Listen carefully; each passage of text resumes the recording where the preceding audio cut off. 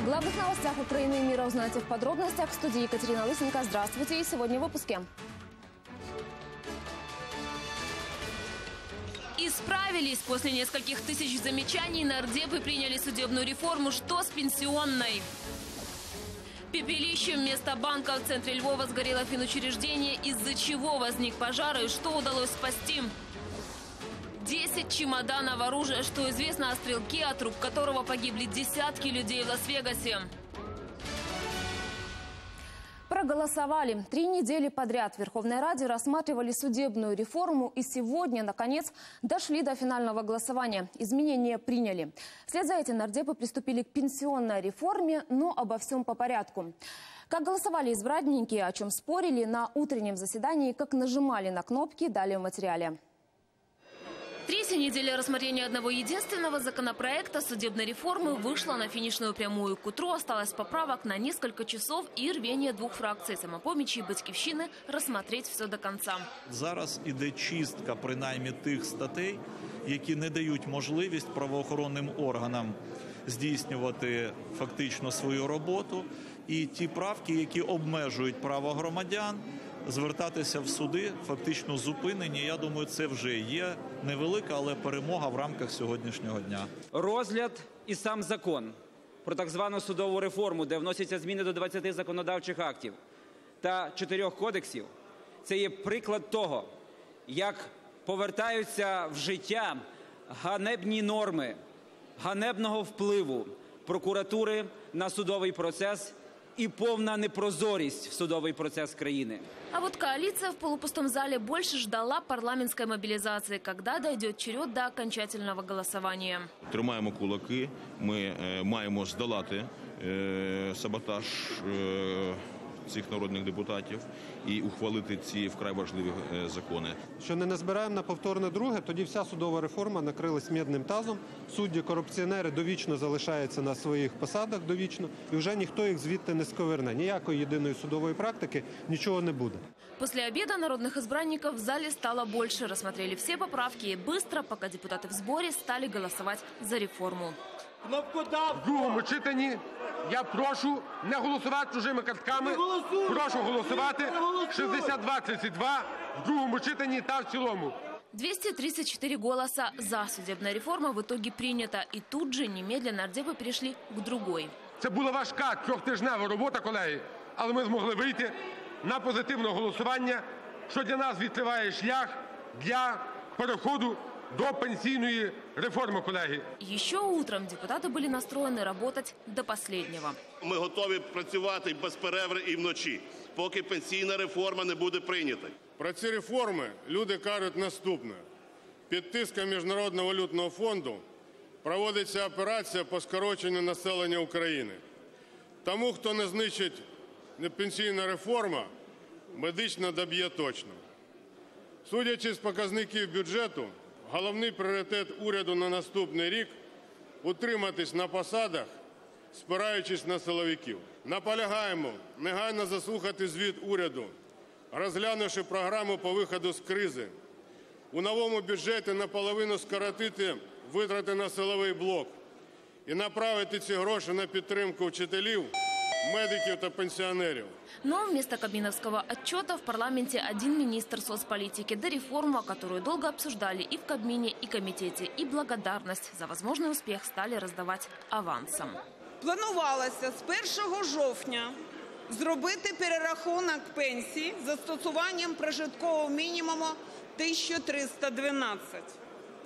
За пропозиціями фракції, фракції Олега Ляшка, враховано показник 1452 гривні, а це вже не на 61 гривню збільшення, а майже на 140. Фронтовики обещают поддержку реформы, тем более их депутат во главе профильного комитета. За пенсионную и БПП не исключено, что голоса даст самопомощь и другие фракции.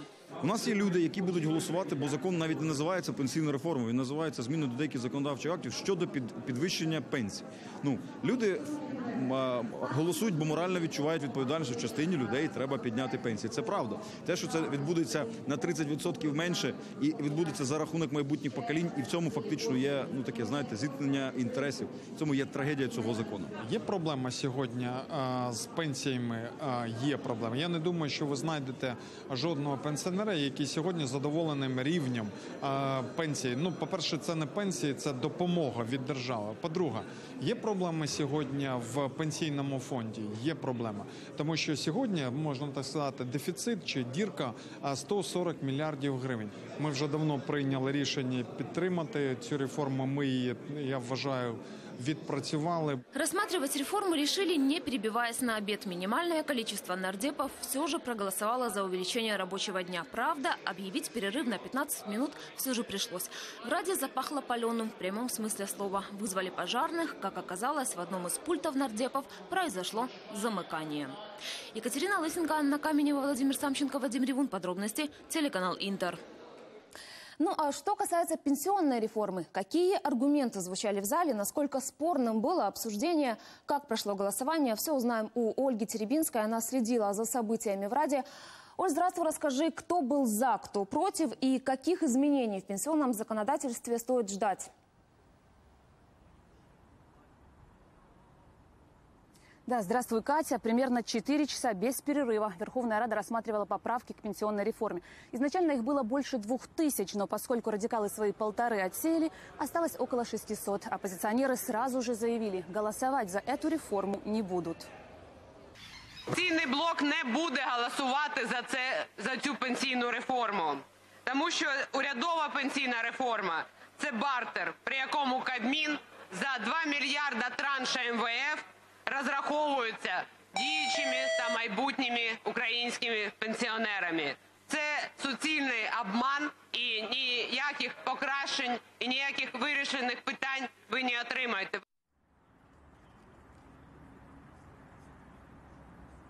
Ближе к концу заседания в зале появился премьер-министр Владимир Гройсман. Он попросил депутатов серьезно отнестись к голосованию, ведь это исторический для Украины момент. Шановні дорогі колеги народні депутати, я думаю, що зараз ми з вами приймемо по-справжньому історичні рішення про встановлення справедливої пенсійної системи в нашій державі. Це відповідальне рішення дасть можливість вже в жовтні місяці не менше як 9 мільйонів українських пенсіонерів підвищити пенсії, так як ми і обіцяли. Тому я прошу кожного, буквально кожного депутата, віддати свій голос.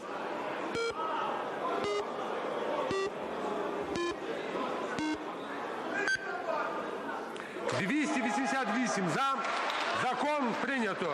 Дякую кожному з вас за ваш голос. Це є дуже важливим. І дякую президенту і всім за підтримку. Успіхів нам! Дякую, друзі!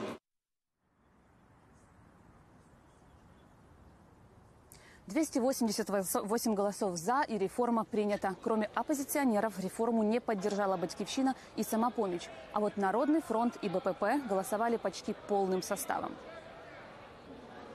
Ми сьогодні досягли, що 10 мільйонів наших громадян отримають підвищення пенсії не менше ніж 140 гривень кожна людина отримає. А якщо вона працювала більше і заробітна плата у неї була більша, вона отримає більшу е, пенсію.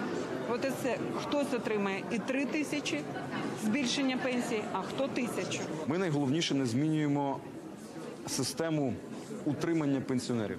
Ми не запроваджуємо, як це є в більшості країн, другий накопичувальний рівень. Сьогодні підвищення, яке безумовно потрібне діючим пенсіонерам, відбувається за рахунок того, що нові пенсіонери отримують менше.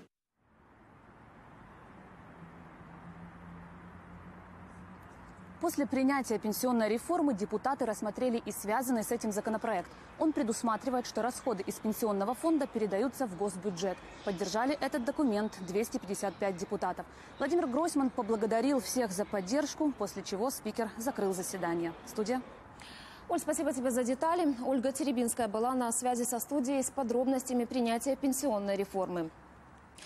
И текст еще одного нашумевшего законопроекта о реинтеграции оккупированных территорий появился сегодня в интернете. Его опубликовала на своей странице в Фейсбуке вице-спикер Оксана Сыраид. В документе 16 страниц он предусматривает признание России страной-агрессором, а не подконтрольные территории Донбасса оккупированными. Соответственно, все органы власти там незаконны. Президенту дано право прекращать полномочия областных советов и назначать военные администрации, а еще объявлять военное положение положение в любых областях, а не только в зоне АТО. Но, по информации источников «Украинской правды», это старая версия документа. Другой текст, англоязычный, тоже не актуален. Законопроект до сих пор меняется. Президент внесет его в парламент, скорее всего, завтра. Это же подтвердила и первый вице-спикер Ирина Геращенко. По ее словам, было несколько десятков версий документа, но в окончательном варианте будут определенные важные и неожиданные моменты. Ключова філософія цього законопроекту це повернення території, відновлення територіальної цілісності і суверенітету України, а не як деякі фракції тут пропонують за що вони б'ються. Відмова від території такого не буде. Ми будемо боротись за продовження санкцій, і от для цього буде одна новела в законопроекті.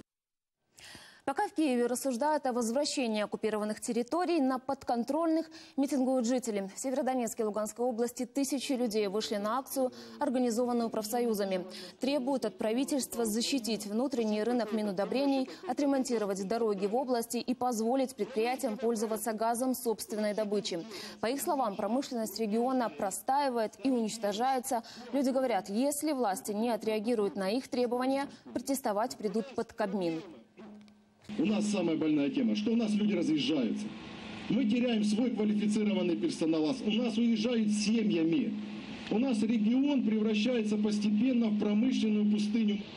Мы требуем модернизации угольной отрасли и поддержки дотаций.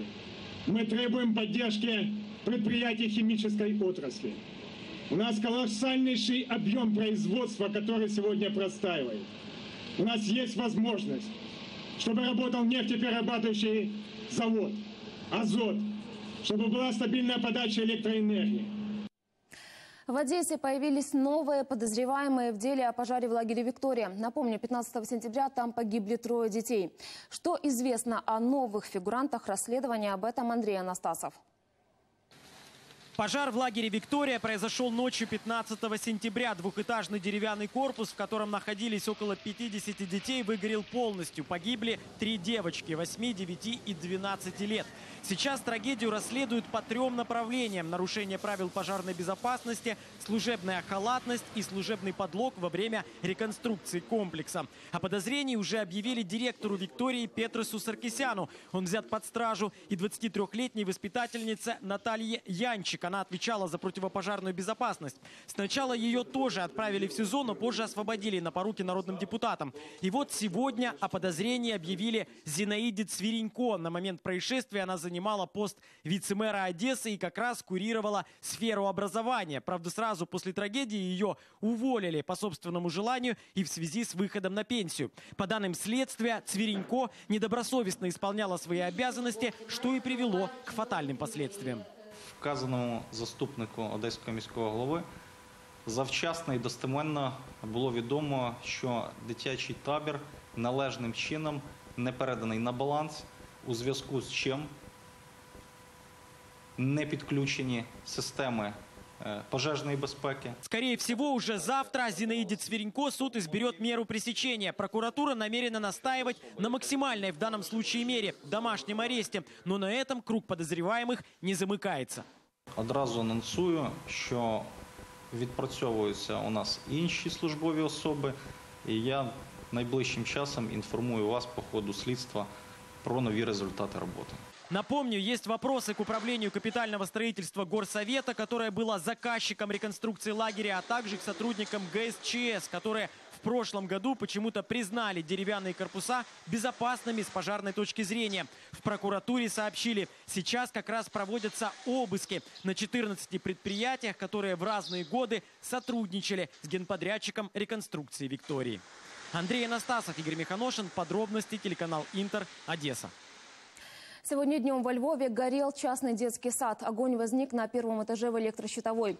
Очень быстро помещение заполнил едкий дым. Еще до того, как прибыли спасатели, воспитатели вывели детей на улицу. Всего 40 человек.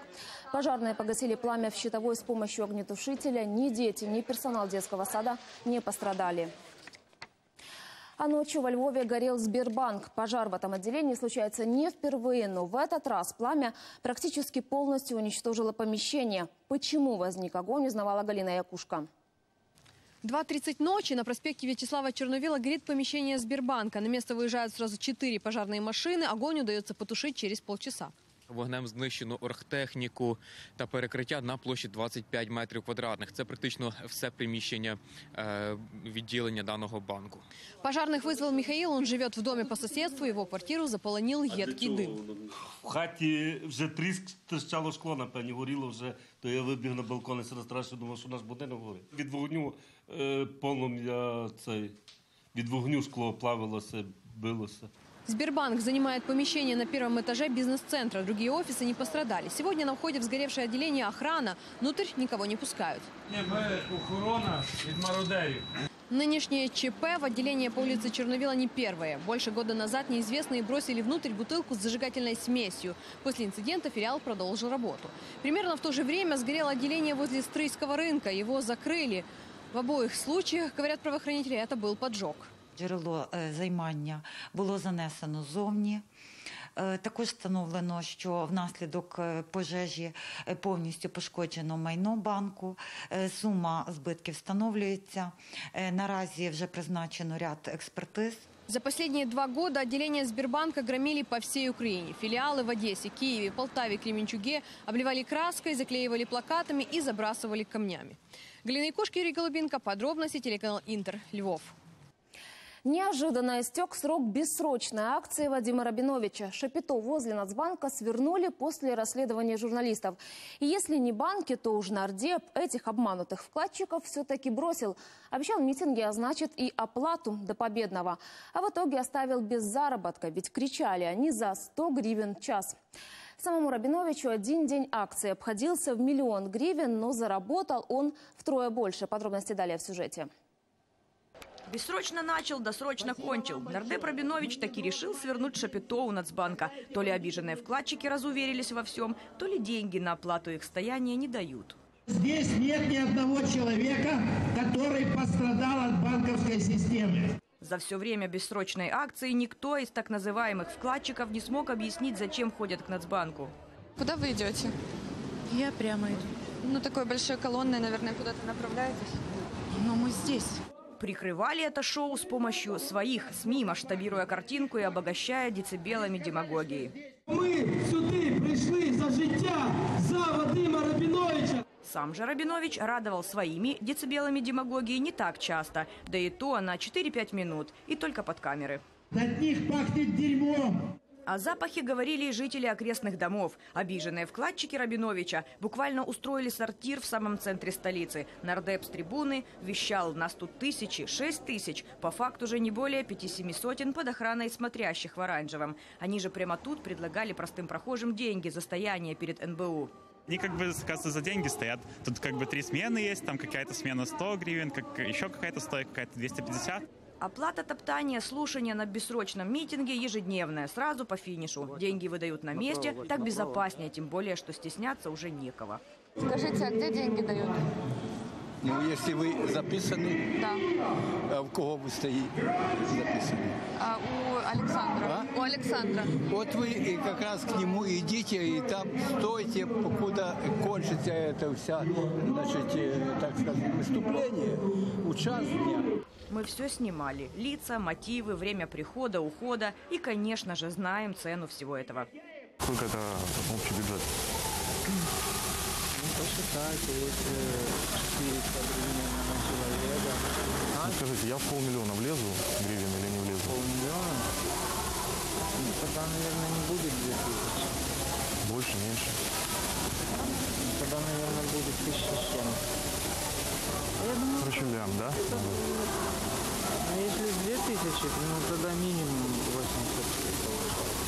Вот такие факты. А реально перед спонсорами акции Рабинович как бы отчитывался за 6 тысяч участников. Нагрел нардеп не только своих спонсоров, но и самих бурлаков без срочки. Вместо обещанных 100 гривен выплаты уменьшились до 70. А вот те разы было и 100, и Так а 90. почему-то, вот мы не понимаем. Каждый день по-разному. По нашим и не только нашим подсчетам, пара недель такого цирка обходится почти в 25 миллионов гривен. Таких денег у Рабиновича нет по декларации. А если бы были, то он их в эту топку перед Нацбанком никогда бы не кинул. Кинутыми остались все. Спонсоры, нанятая массовка и больше всех, конечно же, реальные вкладчики. Тут перед Нацбанком после бессрочки шапито. Их уже никто не услышит. Оксана Григорьева, Леонид Аборин, Вячеслав Медведев. Подробности телеканал Интер. 100 миллиардов гривен ущерба нанесли государству бывшие налоговики времен Януковича. Об этом в Харькове заявил генпрокурор Юрий Луценко. В списке 46 человек, четверо под стражей, еще 21 под залогом. И если расследование по этому делу продолжается, то в отношении фигурантов экономических преступлений беглого президента и его окружения ГПУ следствие завершило. Практически по всем уже есть разрешение на заочный суд. Остается один фигурант – Эдуард Ставицкий, сказал Юрий Луценко. Он также отметил, что ГПУ обратилась в суд с просьбой разрешить специальное расследование против Виктора Януковича, которого подозревают в организации теракта на улице Институтской и убийстве участников Майдана. Что же касается других виновных в расстрелах в центре Киева, уже известна дата судебных слушаний. 5 жовтня е, в суді столиці відбудеться перше засідання по справі щодо винних у розстрілі на Майдані. Відтак, в разі задоволення нашого клопотання про заочний характер е, правосуддя, вона е, короткий термін буде передана до розгляду по суті. Ми вважаємо е, готовими до обвинувачення Януковичу, Захарченку, Якименку та ряду інших посадових осіб силових органів до е, віддачі наказів, що привели до розстрілів мирних демонстрантів на Майдані. Изложил генпрокурор и свою версию пожара на военном арсенале в Калиновке. По мнению Юрия Луценко, причина трагедии – диверсия, но она стала возможна из-за служебной халатности военных. Периметр цього об'єкту фактично був беззахисним. 17 службовців е, воєнної охорони ВОХРа були явно недостатніми для забезпечення режиму е, на об'єкті. Уже сьогодні встановлено, що цей режим масово порушувався е, з відома, а навіть е, за наказу керівника цієї бази. Диверсия – причина пожара и на воинских складах в Сватове в 2015 году и Балаклее в марте 2017 Как сообщил генпрокурор, Укр-Авиарух предоставил данные о беспилотнике, который прилетел со стороны России и сбросил на Балаклейский арсенал два термобарических снаряда. Это могло произойти из-за служебной халатности должностных лиц Генштаба. Отдельные вопросы у следователей к Минфину. Сразу после взрывов в Балаклее правительство выделило деньги на усиление охраны военных арсеналов. Но на места они дошли только через полгода. Более 10 тысяч человек призовут в армию этой осенью, но в зону АТО новобранцев направлять не будут. Призовут в этом году и офицеров запаса не больше тысячи. Их в основном задействуют для охраны складов с боеприпасами. И это, утверждают в Генштабе, одно из главных нововведений этой призывной волны с урахуванням того, что те офицеры, эти офицеры не могут быть залучены до АТО без підписання відповідного контракта. Вони йдуть тільки в тилові частини і в частини, які не, не знаходяться на лінії зіткнення. Підкреслюю, що призвані військовослужбовці строкової військової служби до участі в АТО не залучаються. Двое украинских бойцов ранены сегодня на Донбассе. Боевики снова применяют грады. Из реактивных систем залпового огня обстреляны украинские позиции на Мариупольском направлении. Досталось и окраинам Авдеевки. Там противник бил из гранатометов. С подробностями Руслан Смещук. Авдеевка снова под огнем боевиков. Опять пострадали улицы, расположенные по соседству с промзоной. Российские наемники более трех часов били по юго-восточной части города. Тем временем Маринка восстанавливается после вчерашнего и более старых вражеских обстрелов. Их последствия повсюду, как, например, в этой пятиэтажке. Самые большие разрушения были в этой квартире, 30-й квартире. Полностью все стены перекладывали, плиты все были разрушены. Три, три яруса плит поменялись. Четвертый этаж, пятый этаж и покрытие отдельно. Шавкат Панжиев, инженер строительной компании подрядчика, которая выполняла ремонт. На работу ушло более трех месяцев. Сделали как для себя, старались, чтобы люди могли прийти, работать полностью. Заменили сантехнику все, начиная от моек на кухне, отопление, ванну, туалет, электричество. Хотя работы тут не на месяцы, на годы. З обласного бюджету 9 квартир ремонтовано з бюджету районної. У нас залишається 15 квартир, до яких зовсім не приступили. Еще сложнее ситуация с поврежденными или разрушенными частными домами. Их в Маринке почти полторы тысячи. 100 будинків потягнеш приватних? С нуля нет. Для восстановления привлекаются деньги государства, благотворительных международных фондов и организаций. Первоочередная задача – до сезона дождей восстановить кровли. Я зараз виділив 27 мільйонів гривень на а, матеріали. Да, тобто 27 мільйонів гривень матеріали. Зараз матеріали всі закуплять. І шкло, і це саме, і цвяхи, і дерево, і шифер, і е, цемент, цемент, руберують, все, все, все. Но каждый новый обстрел боевиков, как, например, вчерашний, увеличивает счет ремонтов и человеческого горя. Руслан Смещук, Евгений Пахальчук и Руслан Ревьюк. Подробности телеканал «Интер» из Донецкой области. Буквально только что на сайте оппозиционеров появилось заявление. Политсила будет добиваться отмены пенсионной реформы, поскольку она поставит пенсионеров на грань выживания.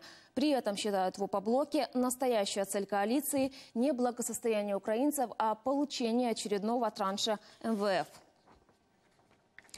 Против реформы образовательной будут вместе выступать Будапешт и Бухарест. Глава венгерского МИДа на встречу с румынским коллегой назвал принятие нового закона ударом в спину. Документ, по его мнению, противоречит соглашению об ассоциации между Украиной и ЕС, которое в свое время поддержали и Венгрия, и Румыния. Поэтому, считает он, обе страны имеют право предъявить Киеву претензии. В Запорожье ищут киллера, который совершил покушение на главу областной армянской общины. Нападение произошло сегодня средь бела дня. Нас полиции отмалчиваются, а интернет уже заполонили разные версии произошедшего, выясняла детали Елена Медалюк. Главный офис армянской диаспоры находится на бульваре Шевченко. Это почти центр города. По информации представителей общины, киллер сидел в машине напротив здания и поджидал Арташеса Сарксяна. Тот, как всегда, утром приехал на работу. Когда вышел из машины вместе с охранником, прозвучал выстрел. Когда они дошли к, ну, к заднему, получается, крылу, ну, они прям вплотную были, прозвучал выстрел, они не поняли, что произошло, он упал, он к нему, что с тобой случилось, он говорит, больно, живот болит. От смерти Сарксяна защитил телохранитель, закрыл его собой. В результате сам получил ранение. Пуля прошила ему живот. Мужчина потерял 2 литра крови. Операция продолжалась больше шести часов. Сейчас он в коме. Пациент в тяжелом состоянии, по настоящее время находится в реанимации. За него пока дышит аппарат, но состояние стабильное, тяжелое. Инцидент произошел вчера утром, но в нацполиции его до сих пор не комментируют. В прокуратуре тоже немногословны. Говорят, на месте происшествия нашли ружье и гильзу. Стрелка не задержали. Какие версии рассматриваются – тайна. В цьому кримінальному провадженні не повідомлялось жодній особі про підозру та ніхто ще не затриманий за підозрою вчинення цього злочину. На жаль, е, також ми не можемо розкрити всі, але е, можу запевнити, що розглядається весь спектр е, мотивів вчинення цього злочину.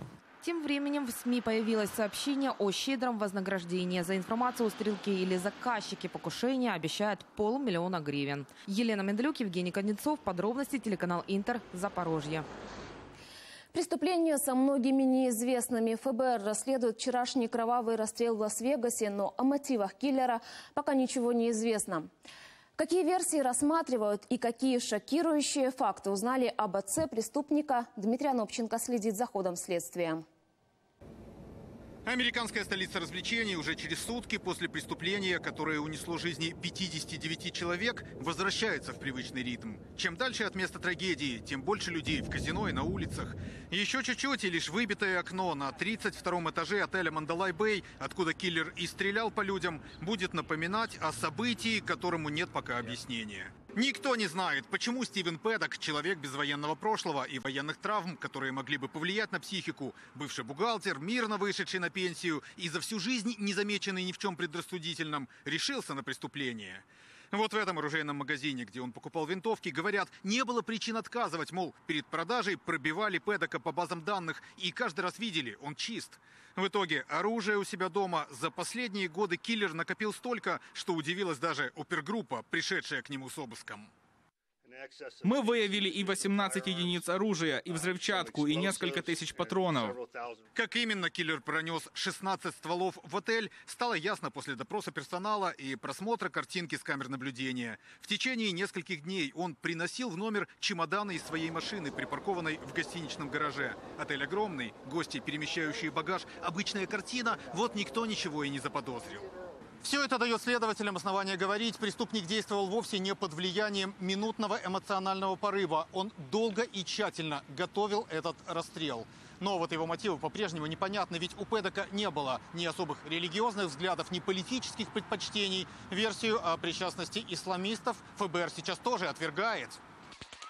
Сейчас появилась новая версия – психическое расстройство. В своих архивах ФБР нашла данные. Отец киллера был грабителем банков. В 70-е его даже в список самых разыскиваемых преступников включали. В деле есть и справка медиков. Пэдок-старший был шизофреником и психопатом со склонностью к суициду. Версию, что и младший Пэдок ненормальный, отстаивает сейчас мэр Лас-Вегаса. Это просто психически больное, отвратительное человеческое создание. Оно принесло опустошение, которое останется навсегда в нашей памяти. Но и эта версия вызывает вопросы, ведь психопатия не передается по наследству. А те, кто знали Пэдока, не замечали ничего необычного в его поведении.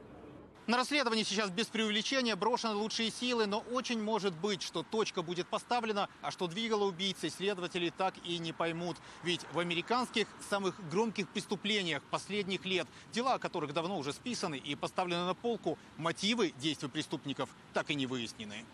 Из Соединенных Штатов Дмитрий Анопченко, Сергей Коваль, Американское бюро телеканала «Интер». Более 300 тысяч человек вышли на улицы Барселоны в знак протеста против действий полиции во время референдума 1 октября.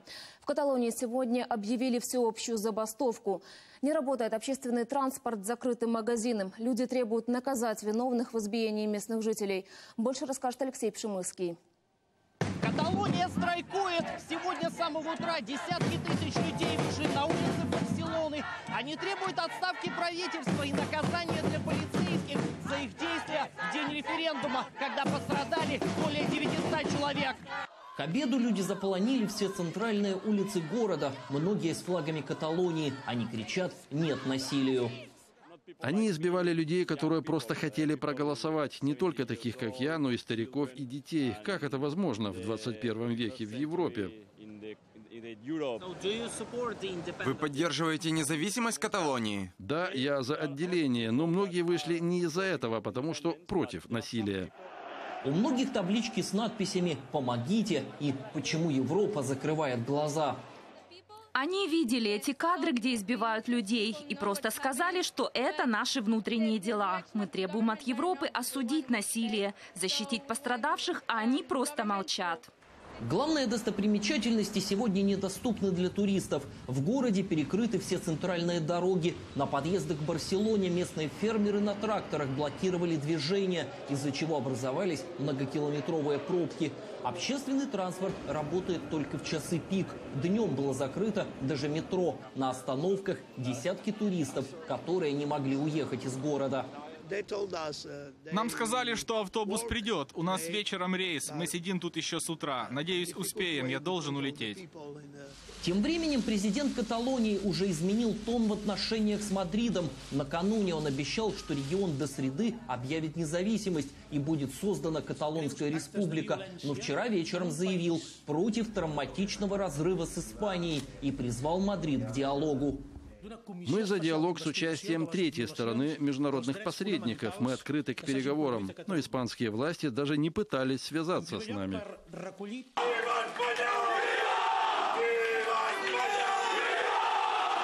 Тем временем в окрестностях Барселоны, в прибрежном городке Пинеда де Мар, испанским полицейским пришлось покинуть гостиницу после того, как здание окружили сотни протестующих. Под овации местных жителей те ушли, выкрикивая «Испания!». Такие действия резко осудил глава МВД страны. Он обвинил президента Каталонии в подстрекательстве людей к восстанию и сказал, что ни один полицейский не покинет регион.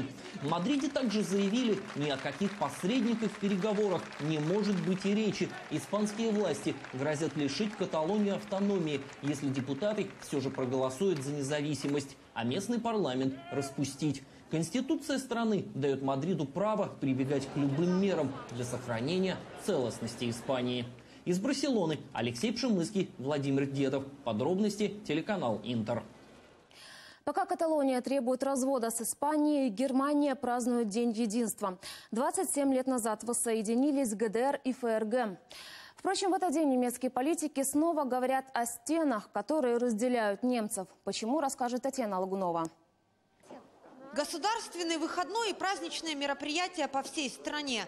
Центр торжеств в этом году город Майнц. Там сегодня собрались все высокопоставленные немецкие политики. Лозунг «Вместе мы Германия». Но с трибун говорят не только о единстве, но и о расколе. Сегодня мы можем сказать, единство Германии уже стало политической повседневностью. Большая стена, которая разделяла нашу страну, исчезла. Но 24 сентября показала, есть и другие стены, они менее заметны, без колючей проволоки. Но тем не менее, они стоят на пути к нашему общему «мы». О новых стенах немецкие политики заговорили после последних парламентских выборов и успеха правых популистов в землях бывшей ГДР. 20% голосов избирателей – это результат альтернативы для Германии на востоке страны. В землях этого региона партия заняла второе, а кое-где, например, в Саксонии, вообще первое место. Такой высокий результат спустя 27 лет после объединения снова провел невидимую политическую границу между бывшими ГДР и ФРГ. Успех правых популистов в этих землях уже по косточкам разобрали немецкие политологи. Безработица, отсталость в экономическом развитии от западных земель, личная нереализованность и поиск виновных во всех этих проблемах. Я спрашиваю себя, что будет с моей пенсией, сколько я буду получать. Я вот сейчас плачу за беженцев, которых принимает Германия, а потом они перевезут сюда семьи, и я буду платить за них тоже, да? Сначала нужно, чтобы уехали все иностранцы. Тогда молодые люди смогут найти работу. У нас очень много безработных. Услышать и развеять страхи избирателей альтернативы для Германии сразу после выборов пообещала Ангела Меркель. Получится ли у нее сломать и эту стену, покажет следующее голосование через четыре года. Татьяна Лагунова, Геннадий Никеенко. Подробности немецкое бюро телеканала «Интер». Завоевали медали, а получили еще и ордена. Президент Украины наградил украинских бойцов и ветеранов, которые принимали участие в играх непокоренных в Канаде. Перед одним из них даже преклонил колено. По словам Петра Порошенко, украинская команда получила все свои 14 медалей заслуженно. Особенно если учесть, что участников от Украины было в пятеро меньше, чем от других стран. Президент надеется, что пример спортсменов на играх непокоренных вдохновит людей с ограниченными возможностями. Ви є унікальним прикладом виховання патріотів. І не можна ні в якому разі недооцінювати цю роль. І ваші медалі, які ви завоювали в Торонто, лише додають до цього додаткової аргументації. Тому чекаємо обов'язково вас в реабілітаційних центрах, в тим, хто сьогодні, як ніколи, потребує вашої допомоги. Сьогодні це буде безцінно. Иракские курды выберут себе президента и парламент. Голосование назначили на 1 ноября. Напомню, чуть больше недели назад Курдистан провел референдум о независимости.